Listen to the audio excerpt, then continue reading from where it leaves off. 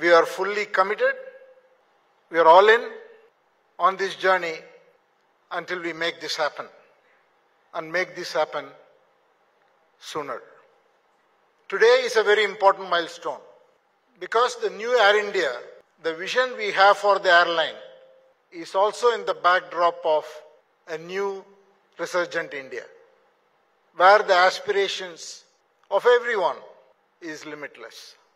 The new logo that you see here today, the Vista, signified by that historically used window, the golden window, the peak of the golden window, signifies limitless possibilities, progressiveness, confidence, and all of that. We have been at work during the last 15 months or so on this journey because our vision is to make this airline world class in terms of modernity, safety, technologically most advanced, exceptional in terms of customer service, and an experience that Air India used to be known for. But this requires enormous amount of work because where we start from.